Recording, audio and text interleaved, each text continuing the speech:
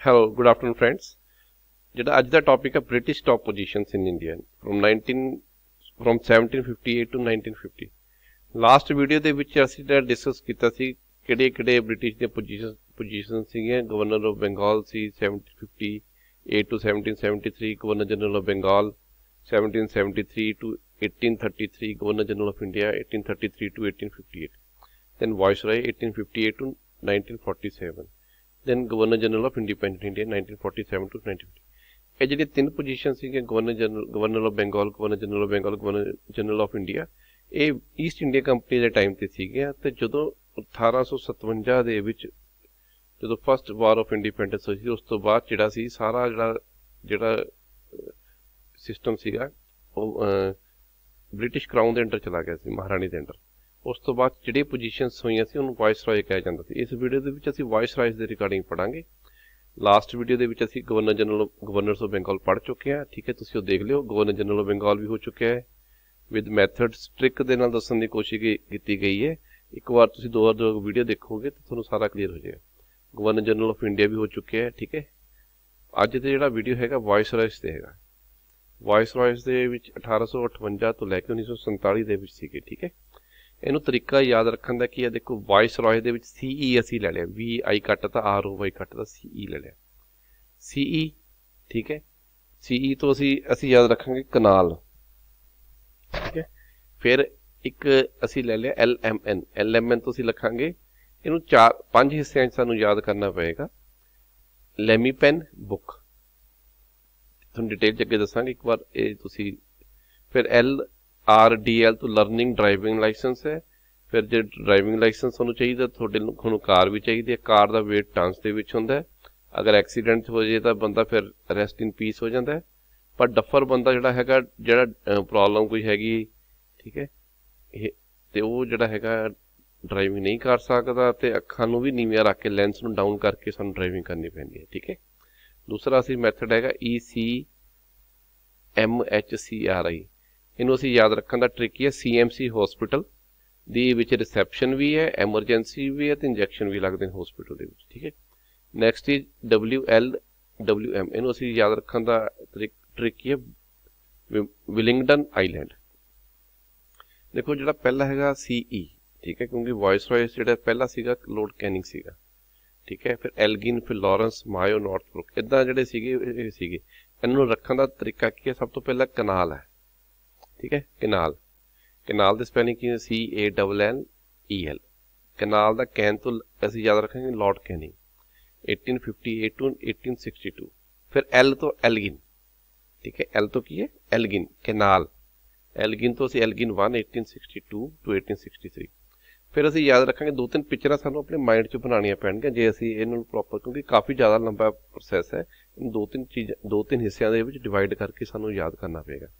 ਫਿਰ next is Lamy Lamy pen company ਹੈ pen ਬਣਾਉਂਦੀ ਹੈ Lamy L A M Y Lamy ਤੋਂ ਕੀ ਹੋਗਾ ਲਾਰਡ ਲਾਰੈਂਸ ਠੀਕ ਹੈ ਲਾਰੈਂਸ ਯਾਦ ਰੱਖਣਾ ਪੈਣਾ ਲੈ ਲਾ ਲਾਰੈਂਸ ਲਾ ਠੀਕ ਹੈ ਆਪਾਂ ਲਾਅ ਦਾ ਪਹਿਲੇ ਵੀ ਕੀਤਾ ਸੀਗਾ law law Lawrence 1864 to 1869 then my my ਤੋਂ ਅਸੀਂ ਯਾਦ ਰੱਖਾਂਗੇ ਮੇਓ ਠੀਕ ਹੈ ਜਦੋਂ ਮਾਇਓ ਮਾਇਓ ਸੀਗਾ 1869 ਟੂ 1872 ਮਾਇਓ ਠੀਕ ਹੈ ਉਸ ਤੋਂ ਬਾਅਦ ਅਸੀਂ ਜਦੋਂ ਅਸੀਂ ਪੈਨ ਖਰੀਦਾਂਗੇ, ਫਿਰ ਕਿਸੇ ਜਗ੍ਹਾ ਤੇ ਲਿਖਾਂਗੇ ਵੀ, ਸਾਨੂੰ ਬੁੱਕ ਵੀ ਚਾਹੀਦੀ ਹੈ। ਬੁੱਕ ਤੋਂ ਅਸੀਂ ਯਾਦ ਰੱਖਾਂਗੇ ਨਾਰਥ ਬਰੁਕ ਠੀਕ ਹੈ? 1872 ਟੂ 1876 ਕੈਨਾਲ, ਲੈਮੀ ਬੁੱਕ, ਇਹ ਤਿੰਨ ਚੀਜ਼ਾਂ ਤੋਂ ਸਾਡਾ ਬਣ ਗਏ। ਸਾਡੇ ਪੰਜ ਜਿਹੜੇ ਨੇ ਵਾਇਸ ਰੋਇਸ ਬਣੇ। ਫਸਟ ਇਜ਼ ਕਨਾਲ ਤੋਂ ਕੈਨਿੰਗ, ਫਿਰ ਐਲਗਿਨ, ਫਿਰ ਲਾਰੈਂਸ, ਫਿਰ ਮਾਇਓ ਤੇ ਨਾਰਥ ਬਰੁਕ ਠੀਕ ਹੈ? ਇਹ ਜਿਹੜੇ ਨੇ, ਪੰਜ ਜਿਹੜੇ ਨੇ ਵਾਇਸ ਰੋਇਸ ਇਸ ਤਰੀਕੇ ਨਾਲ ਅਸੀਂ ਯਾਦ ਕਰਾਂਗੇ।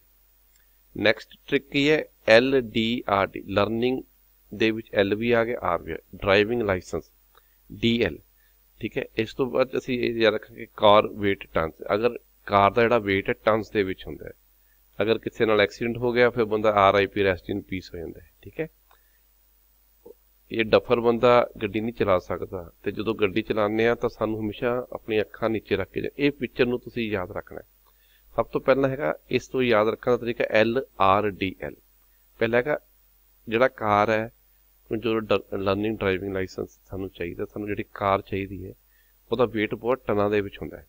ਟਨ, ਠੀਕ ਹੈ, ਟਨਾਂ ਦੇ ਵਿੱਚ weight ਹੁੰਦਾ ਉਹਨੂੰ ਕਹਿੰਦੇ, ਇਹਦਾ ਟਨ ਟਨ ਤੋਂ ਅਸੀਂ ਲਾਈਟ ਟਨ ਲਿਟਨ 1876 ਟੂ 1880 ਠੀਕ ਹੈ। ਅਗਰ ਗੱਡੀ ਦਾ ਡਰਾਈਵਿੰਗ ਲਰਨਿੰਗ ਡਰਾਈਵਿੰਗ ਕਰਦੇ ਹੋਏ ਐਕਸੀਡੈਂਟ ਹੋ ਜੇ ਤਾਂ ਬੰਦਾ ਕੀ ਹੋ ਜਾਂਦਾ R I P rest in peace death ਹੋ ਜਾਂਦੀ ਹੈ, ਕਿਸੇ ਦੀ ਵੀ ਹੋ ਸਕਦੀ ਹੈ। ਆਰ ਆਈ ਪੀ ਤੋਂ ਕੀ ਹੈ, ਰਿਪਨ। 1880 ਟੂ 1884 ਨੈਕਸਟ ਕੋਈ ਡਫਰ ਬੰਦਾ ਜਿਹੜਾ ਹੈਗਾ, ਕੋਈ ਮੈਂਟਲੀ ਜਿਹਨੂੰ ਅਪਸੈਟ ਹੈ, ਕੋਈ ਪ੍ਰੋਬਲਮ ਹੈ, ਉਹ ਡਫਰ ਬੰਦਾ ਡਰਾਈਵਿੰਗ ਨਹੀਂ ਕਰ ਸਕਦਾ।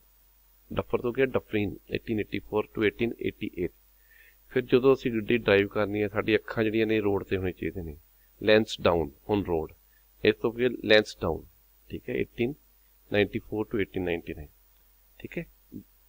ਕਿੰਨੇ ਹੋ ਗਏ ਸਾਡੇ? ਪਹਿਲੇ ਕਿੰਨੇ ਹੋ ਗਏ ਸੀ? 5 ਹੋ ਗਏ ਸੀ? ਤੇ 5 ਤੇ 4 9 ਹੋ ਗਏ। ਫਿਰ ਮੰਨ ਲਓ ਡਰਾਈਵਿੰਗ ਕਰਦੇ ਹੋਏ ਬੰਦਾ ਐਕਸੀਡੈਂਟ ਹੋ ਜੇ, ਠੀਕ ਹੈ? ਜਦੋਂ ਐਕਸੀਡੈਂਟ ਹੋ ਜੇ ਤਾਂ ਐਕਸੀਡੈਂਟ ਤੋਂ ਪਹਿਲਾਂ ਸਾਨੂੰ ਕੀ ਚਾਹੀਦਾ? ਹਸਪੀਟਲ ਚਾਹੀਦਾ ਸੀਐਮਸੀ ਹਸਪੀਟਲ ਇਹ ਬਿਲੌਰ ਦੇ ਵਿੱਚ ਵੀ ਹੈ, ਲੁਧਿਆਣੇ ਦੇ ਵਿੱਚ ਵੀ ਹੈ। ਸੀਐਮਸੀ ਹਸਪੀਟਲ ਨੂੰ ਅਸੀਂ ਥੋੜਾ ਜਿਹਾ ਚੇਂਜ ਕਰਕੇ ਲਿਖਾਂਗੇ ਸੀਐਮਐਚਸੀ ਉਲਟਾ ਕਰ ਦਾਂਗੇ। ਸੀਐਮਐਚਸੀ ਠੀਕ ਹੈ? ਸੀਐਮਐਚਸੀ ਹੁਣ ਜਦੋਂ ਹਸਪੀਟਲ 'ਚ ਬੰਦਾ ਜਾਊਗਾ ਤਾਂ ਰਿਸੈਪਸ਼ਨ ਵੀ ਹੋਊਗੀ ਸੀ ਐਮ ਐਚ ਸੀ ਦੇ ਨਾਲ ਰਿਸੈਪਸ਼ਨ ਵੀ ਹੋਗੀ ਆਰ ਠੀਕ ਹੈ? ਫਿਰ e ਈ ਐਮਰਜੈਂਸੀ ਵੀ ਹੋਊਗੀ ਈ ਫਿਰ ਉਹ ਇੰਜੈਕਸ਼ਨ ਵੀ ਲੱਗਣਗੇ। ਸਿਰਫ ਇਹ ਇਸ ਨੂੰ ਥੋੜਾ ਜਿਹਾ ਲਿਖਣਾ ਡਿਫਰੈਂਟ ਤਰੀਕੇ ਨਾਲ ਹੈ, ਜਿਸ ਤਰੀਕੇ ਨਾਲ ਯਾਦ ਸੀ ਐਮ ਸੀ ਐਚ ਨੂੰ ਲਿਖਾਂਗੇ ਸੀ ਐਮ ਐਚ ਸੀ ਪਿੱਛੇ ਇੱਥੇ ਲਿਖਾਂਗੇ ਰਿਸੈਪਸ਼ਨ ਆਰ ਆ ਜਾਏਗਾ। ਰਿਸੈਪਸ਼ਨ ਦੇ ਵਿੱਚ ਜਾ ਕੇ ਇੰਜੈਕਸ਼ਨ ਵੀ ਲੱਗੇਗਾ ਆਈ ਇੰਜੈਕਸ਼ਨ ਤੋਂ ਬਾਅਦ ਫਿਰ ਬੰਦੇ ਨੂੰ ਐਮਰਜੈਂਸੀ 'ਚ ਵੀ ਲੈ ਕੇ ਜਾਣਾ ਪੈ ਸਕਦਾ ਐਕਸੀਡੈਂਟ ਤੋਂ ਬਾਅਦ ਠੀਕ ਹੈ? ਇਹਨੂੰ ਆਪਾਂ E C M H C R I emergency ਦੇ ਵਿੱਚ ਜਦੋਂ ਤੁਸੀਂ ਲੌਗਇਨ ਕਰਾਓਗੇ ਜਾ ਕੇ, ਫਿਰ ਤੁਹਾਡਾ ਅਕਾਊਂਟ ਵੀ ਲੌਗਇਨ ਕਰਾਉਣਾ ਪੈਣਾ ਹੈ, ਠੀਕ ਹੈ? ਉਹਨੂੰ ਕਹਿੰਦੇ ਐਲਗਿਨ 2 1894 ਟੂ 1899 ਐਲਗਿਨ ਠੀਕ ਹੈ? ਫਿਰ ਹਸਪੀਟਲ ਦੇ ਵੀ ਤੁਹਾਡੇ ਤੇ ਕਰਜ਼ਾ ਵੀ ਚੜ ਜਾਂਦਾ ਹੈ, ਖਰਚਾ ਵੀ ਬੜਾ ਹੁੰਦਾ ਫਿਰ ਕਰਜ਼ਾ ਵੀ ਚੜ ਜਾਂਦਾ ਹੈ। ਕਰਜ਼ੇ ਤੁਸੀਂ ਕੀ ਕਰਾਂ? ਕਰਜ਼ਨ 1899 ਟੂ 1805 ਫਿਰ ਜਿਹੜਾ ਹੁੰਦਾ ਹੈ ਹਸਪੀਟਲ ਦੇ ਵਿੱਚ ਜੇ ਬੰਦਾ ਕੋਈ ਸੀਰੀਅਸ ਹੋਵੇ ਤਾਂ ਹਰ ਮਿੰਟ ਇੰਪੋਰਟੈਂਟ ਹੁੰਦਾ ਹੈ। ਠੀਕ ਹੈ? ਐਵਰੀ ਮਿੰਟ ਕਾਊਂਟਸ ਮਿੰਟ ਤੋਂ ਕੀ ਆ ਜਾਊਗਾ? ਹਸਪੀਟਲ ਮਿੰਟ ਟੂ 2 1905 ਟੂ 1910 ਠੀਕ ਹੈ? ਫਿਰ ਕੁਝ ਹਾਰਡ ਡਿਸੀਜਨਸ ਵੀ ਲੈਣੇ ਨੇ ਡਾਕਟਰ ਕਹਿੰਦੇ ਨੇ ਆਪਰੇਸ਼ਨ ਕਰਨਾ ਪਏਗਾ ਜਾਂ ਇਦਾਂ ਫਿਰ ਉੱਥੇ ਡਿਸੀਜਨ ਵੀ ਸਾਨੂੰ ਲੈਣੇ ਪੈਂਦੇ ਨੇ, ਹਾਂਜੀ ਕਰ ਦੋ ਜਾਂ ਕੋਈ ਗੱਲ ਨਹੀਂ ਖਰਚੇ ਦਾ ਜਾਂ ਹੋਰ ਚੀਜ਼ਾਂ ਦਾ, ਹਨਾ? ਫਿਰ ਉਹਦੇ ਹਾਰਡ ਡਿਸੀਜਨ ਤੋਂ ਅਸੀਂ ਕੀਤੇ? ਹਾਰਡਿੰਗ ਗੇਟ 2 1910 ਟੂ 1960 ਫਿਰ ਉਹਦੇ ਵਿੱਚ ਐਂਬੂਲੈਂਸ ਦੀ ਵੀ ਜ਼ਰੂਰਤ ਪੈਂਦੀ ਹੈ ਹਸਪੀਟਲ ਦੇ ਵਿੱਚ।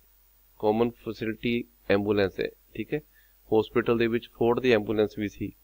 ਉਹ ਤੋਂ ਕਾਮਨ ਤੋਂ ਚੈਂਪਸ ਫੋਰਡ ਚੈਂਪਸ ਫੋਰਡ ਠੀਕ ਹੈ 1916 ਟੂ 1920 ਫਿਰ ਜਿਹੜੇ ਡਾਕਟਰਸ ਹੁੰਦੇ ਨੇ, ਇਹ ਜਦੋਂ ਕੇਸ ਸਟੱਡੀ ਕਰਦੇ ਨੇ ਜਾਂ ਕੁਝ ਰਿਪੋਰਟ ਬਣਾਉਂਦੇ ਨੇ ਜਾਂ ਆਪਰੇਸ਼ਨ ਕਰਦੇ, ਉਹਦੇ ਕਈ ਚੀਜ਼ਾਂ ਰੀਡ ਵੀ ਕਰਨੀਆਂ ਪੈਂਦੀਆਂ ਨੇ ਰਿਮਾਈਂਡ ਉਹਨੂੰ ਕਹਿੰਦੇ ਰੀਡਿੰਗ ਰੀਡਿੰਗ 1921 ਟੂ 1926 ਫਿਰ ਅਸੀਂ ਹਮੇਸ਼ਾ ਪ੍ਰੇ ਕਰਦੇ ਹਾਂ ਵੀ ਬੰਦਾ ਬਚ ਜੇ, ਅਸੀਂ ਜਿੱਤ ਕੇ ਘਰ ਨੂੰ ਜਾਈਏ ਇਰਵਿਨ ਠੀਕ ਆਈ ਤੋਂ ਕੀ ਇਰਵਿਨ।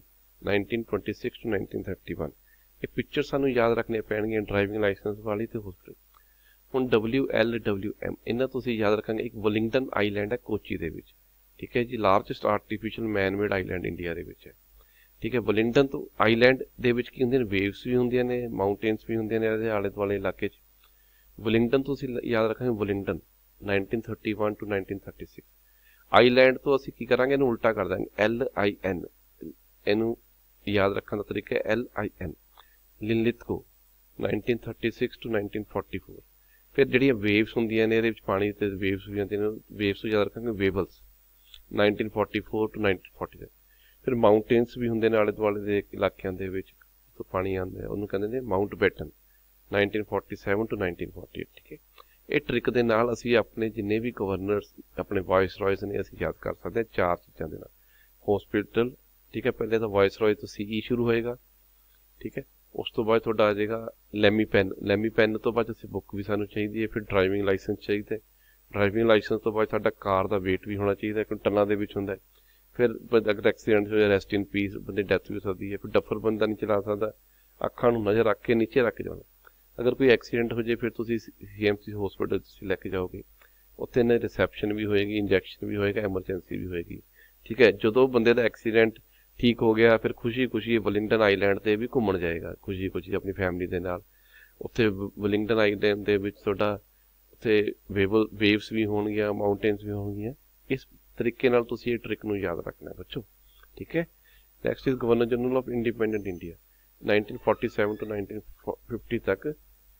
ਉਸ ਤੋਂ ਬਾਅਦ ਜਿਹੜਾ ਸੀ Lord Mountbatten he was the first governor general of independent 1947 48 ਫਿਰ ਜਿਹੜਾ ਸੀ ਇੰਡੀਅਨ ਜਿਹੜੇ ਸੀ ਸੀ ਰਾਜਾ ਗੋਪਾਲਾਚਾਰੀ 1948 ਤੋਂ 1950 ਤੱਕ governor general of independent India ਸੀਗਾ, ਠੀਕ ਹੈ। ਉਸ ਤੋਂ ਬਾਅਦ ਫਿਰ ਜਿਹੜਾ ਸੀ, ਇਹ ਚੀਜ਼ਾਂ ਸਾਡਾ ਕਨਸਟੀਟਿਊਸ਼ਨ ਆਫ ਇੰਡੀਆ ਇੰਪਲੀਮੈਂਟ ਹੋ ਗਿਆ ਸੀ, ਫਿਰ ਪ੍ਰਾਈਮ ਮਿਨਿਸਟਰਸ ਆ ਗਏ ਸੀਗੇ, ਠੀਕ ਹੈ। ਇਹ ਚੀਜ਼ਾਂ ਤੁਸੀਂ ਯਾਦ ਰੱਖਣੀਆਂ ਨੇ। ਇਹ ਜਿਹੜੇ ਨੇ ਤੁਹਾਡੇ A, B, C, D wise ਜਿਹੜੇ ਅਲਫਾਬੈਟਿਕਲੀ ਵਾਈਜ਼ ਕਿਹੜੇ ਕਿਹੜੇ ਤੁਹਾਡੇ ਨਾਮ ਨੇ?